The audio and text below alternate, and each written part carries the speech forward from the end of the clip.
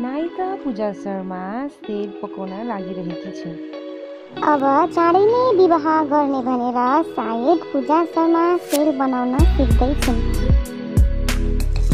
यता नायिका सम्राज्ञी राज्यलक्ष्मी शाह भने आफ्नो साथीहरूसँग रमाइलोमा व्यस्त छिन्।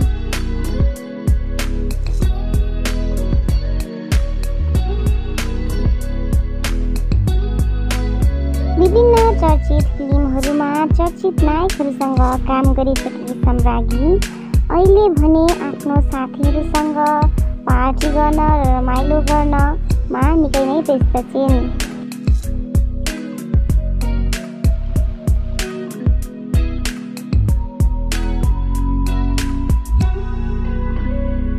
सम्राज्ञी राज्यलक्ष्मी शाह निकै नै बाहिर घुम्न पार्टी गर्न मन पराउने नायिका हुन्।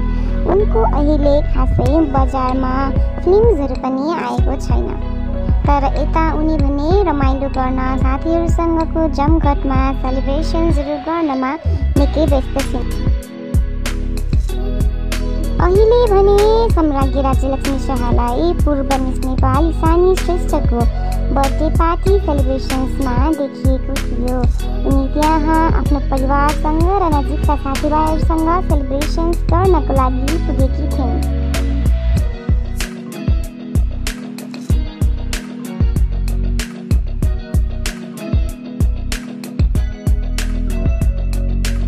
hot and bold actress Samragyee Rajyalaxmi शाहको फ्यान फलोइङ पनि धेरै नै छ। Hot and beautiful Samragyee Rajyalaxmi Shah birthday पार्टीमा पनि निकै नै बोल्ड र सेक्सी भएर गएकी थिइन्। इशानी श्रेष्ठलाई हाम्रो तर्फबाट पनि जन्मदिनको हार्दिक मङ्गलमय शुभकामना। Happy birthday Ishani Shrestha.